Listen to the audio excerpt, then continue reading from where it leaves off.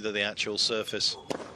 Wow. Oh, oh boy. Gee, the young ball kick has been hit there.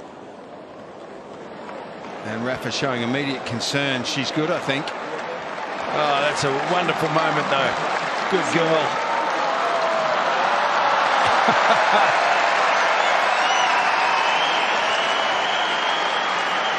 Gee whiz. I think that got her on the cheek. She's quite flushed.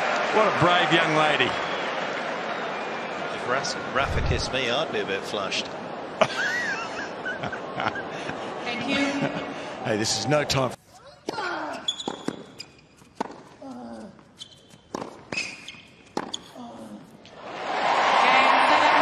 Some stars shine brighter at night than others. Six, one. It's simply the truth. And Rafael Nadal once again illuminates the Melbourne nighttime sky as he comes through in what looks like fairly straightforward fashion as he once again